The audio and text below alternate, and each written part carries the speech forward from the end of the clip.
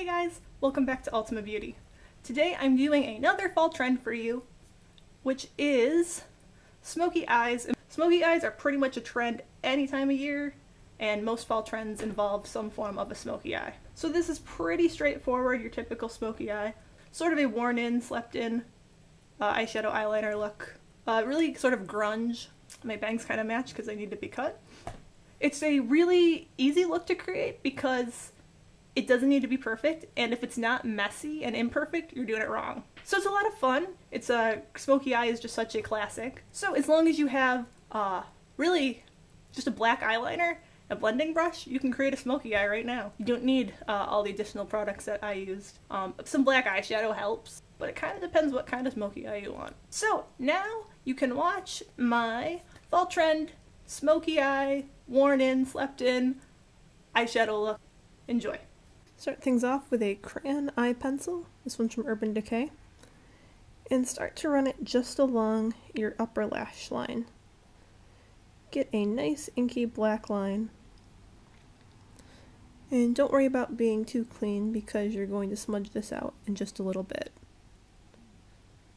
So just coloring along the line, taking it out just a tad at the outer end of the eye. And then the same thing on the other eye.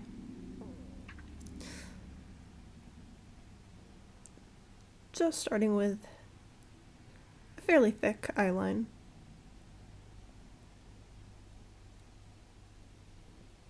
Then use a blending brush and in a back and forth sort of windshield wiper motion, smudge and blend out that line. You're gonna hear me say the word blend like a thousand times in this video. So this look is all about blending and building color. That's how you get a smoky eye. It requires a degree of patience, but once you get the hang of it, it really doesn't take that long.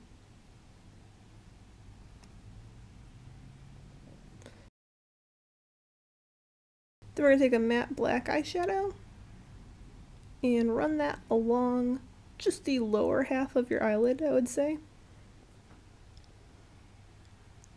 Just building some color. Doesn't have to be too clean or neat. Just going to give you a nice intense shade along the eyeline. And then blend that out as well. Back and forth. Working upwards a bit towards the crease.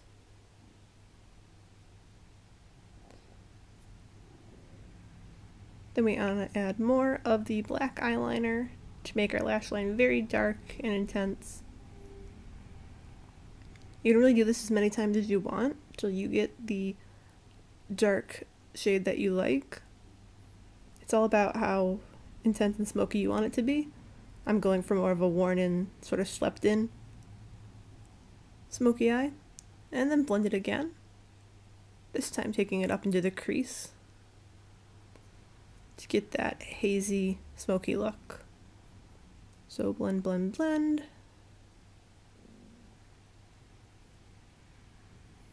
And then we're going to take that same eyeliner and trace it along the lower waterline of the eye. So we can get some very dramatic lashes. We're also going to take it along the lower lash line once we've worked it through the waterline. Or in the other order, it's really up to you. You just want to get a nice, nice dark shade around the lashes.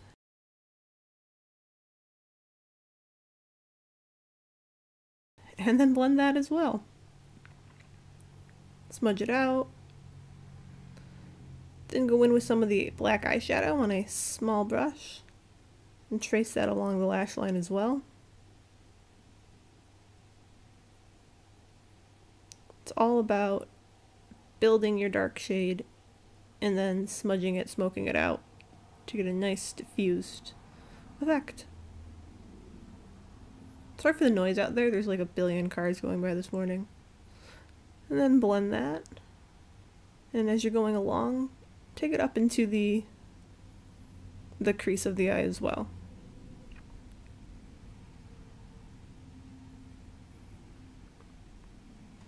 Just for the smoke effect. Then take a pressed eyeshadow and a cream shade and dust that along your brow bone. So you have that nice contrast between the smoky eyes and the brow bone.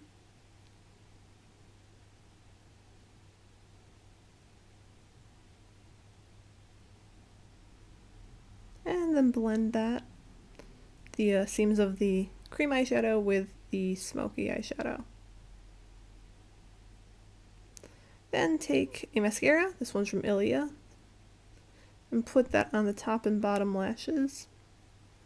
You want a pretty dark black mascara to keep with the intensity of the look. You can see my review of this coming up soon. As I said, it's from Ilia Beauty.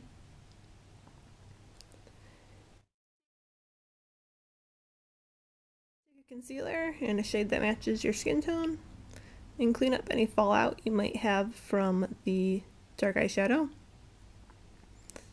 And then just use my finger to start blending and then I use just your typical concealer brush to work the rest of that into my skin.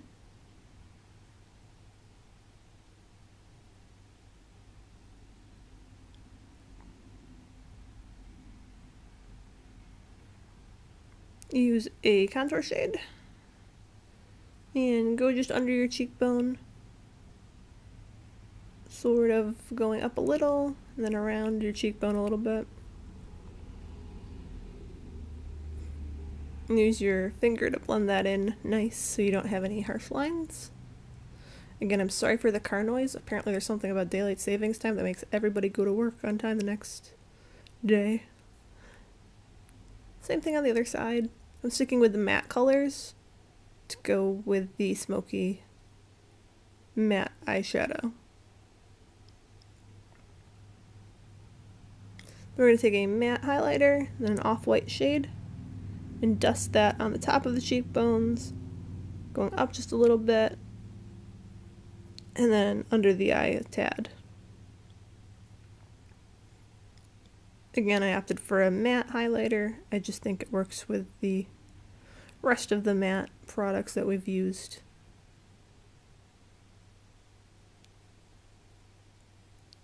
Then I'm going to use a cream blush, also from Ilia and put that on the apples of the cheeks and just go up into the cheekbone a little bit.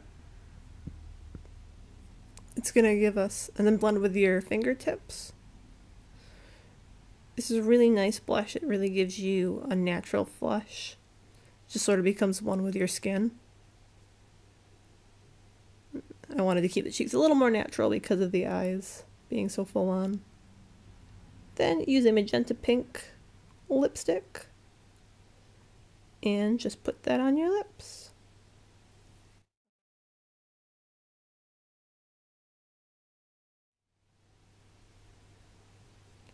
And there you have you're finished smoky eyeshadow, worn in, slept in, grunge, smoky eye tutorial.